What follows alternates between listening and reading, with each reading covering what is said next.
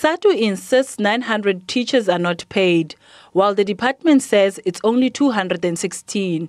We are sitting even with educators or teachers who haven't even received a salary since January.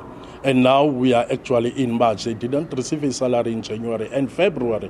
One should just imagine how do those educators go to work and you expect them to deliver the social mandate that is to educate the, the learners of this particular country. The department says SADTU knows the reasons behind the delay in payments.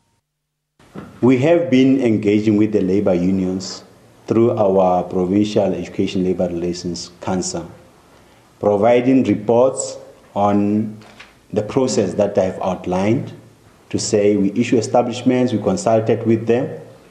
Even the appeal process, we reported to the Provincial Education Labor Relations Council. Even the issue of schools appointing educators early in November, December, all labor unions were aware of that process, including our schools. SADTU says if the situation continues, they will have no choice but to strike. Margaret Mutibi, SABC News, Kimberley, Northern Cape.